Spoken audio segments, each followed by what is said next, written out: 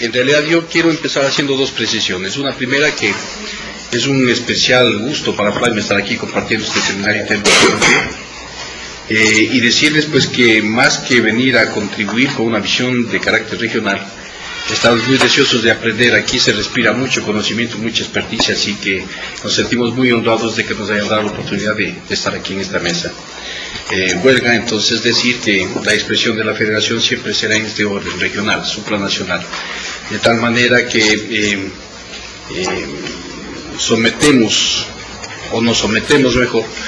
a las observaciones o conceptos que se contrasten desde la visión de cada uno de los países. Entrando en materia, eh, y para tratar de regirme al tiempo, voy a más bien a leer algunas cosas que hemos preparado para hoy. Eh, creemos que es indispensable reconocer como determinantes generales que afectan el análisis de la situación que nos ocupa al momento de hablar de las oportunidades y retos de la gobernabilidad local en los pueblos indígenas de América Latina, algunos elementos. Uno primero, la rica diversidad de situaciones nacionales, tanto en términos de temporalidad de desarrollo como de las formaciones sociales, de los sistemas políticos, de la situación de los estados de derecho, de la gobernabilidad, de la diversidad de la estructura social, de las complejidades culturales, de la forma de inserción de las circunstancias sociales y económicas nacionales en las relaciones globales y de otros factores que producen diversidad. Uno segundo, que es el grado de urbanización, que ha alcanzado la región y que procede de tiempos variables y distintas circunstancias, pero que genera fenómenos de integración social relativos a la comunicación de masas, las sociedades de la información, la cohabitación en espacios de alto contacto y contraste, la homogenización de prácticas sociales, etcétera, que por oposición generan situaciones de deslocalización territorial, de desarraigo cultural, de dispersión de las organizaciones sociales de base, de disfuncionalidad entre los saberes, tradiciones y costumbres con los nuevos espacios que se habitan, procesos de interculturalidad inusitados y presiones sobre las condiciones identitarias colectivas e individuales. Uno tercero, que es el importante avance del modelo democrático de gobierno que se expresa, y ya lo ha dicho Luz hace un momento, en la referencia a constituciones políticas y normativas de alto nivel jerárquico en el marco jurídico de los Estados nacionales, a la referencia eh, a procesos electorales de orden cada vez más universal y directo, la referencia a procesos plebiscitarios de consulta y refrenda para pronunciamiento de los ciudadanos sobre temas fundacionales o de carácter orgánico del aparato de gobierno, la ampliación general de los sistemas de partidos políticos y de reconocimiento a las organizaciones sociales de base, a sus asociaciones y a sus federaciones, la inclusión de un importante conjunto de derechos ciudadanos, derechos colectivos y derechos de orden nacional o de herencia generacional, como son los de protección natural y patrimonio, y los derechos de los pueblos en el marco institucional y legal,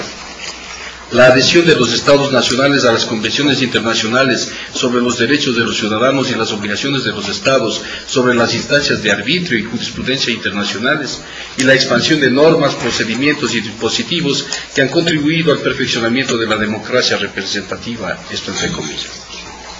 En al menos tres, las tres últimas décadas que hemos vivido,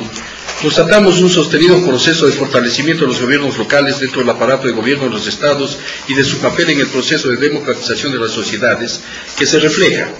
en la elección universal y directa de sus autoridades y consejos directivos o gubernativos, legislativos, en el desarrollo de sus aparatos institucionales de orden técnico y administrativo, en el rol que juegan en el desarrollo, tanto por sus competencias como por los recursos que se administran desde este nivel y la autonomía de gestión que han alcanzado de forma variable por los procesos de descentralización en los diferentes países en la asunción de competencias fundamentales o los aspectos culturales, patrimoniales, tangibles e intangibles, la protección y sostenibilidad del medio natural, la generación de posibilidades territoriales de desarrollo económico y la adopción del rol de los de garantes de los derechos ciudadanos, su inclusión social efectiva, la participación directa y efectiva en los procesos de gestión y control gubernativo y las prácticas de rendición de cuentas el asociativismo de los gobiernos locales que potencia las capacidades de sus miembros como entes autónomos y refuerza la posibilidad de que esta esfera de gobierno, la de los municipios, por ejemplo, se constituya en un interlocutor de los gobiernos nacionales para la consignación institucional y legal de los derechos que atienden a la diversidad de los ciudadanos y colectivos que representan.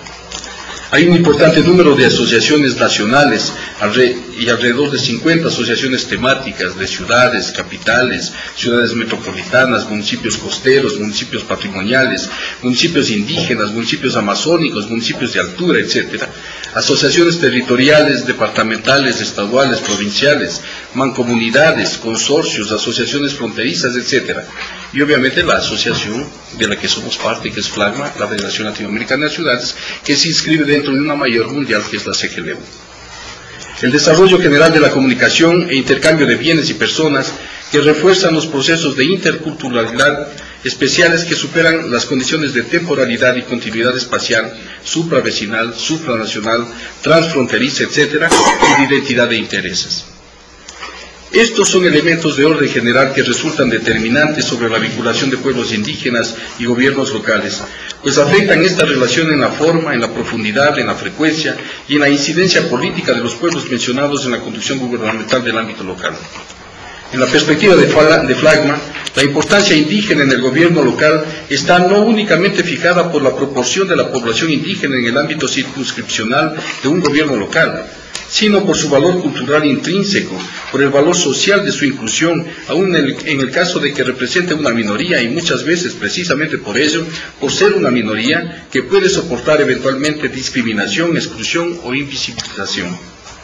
El concepto de la inclusión debe ser medido en su eficacia, no solo como acreedores de derechos consagrados institucionalmente en los cuerpos legales, constitucionales o en el nivel de las convenciones internacionales, sino como actores proactivos en el aprovechamiento de las oportunidades que brinda la sociedad actual y como proponentes de orientaciones para el desarrollo histórico de las sociedades locales y de la sociedad regional.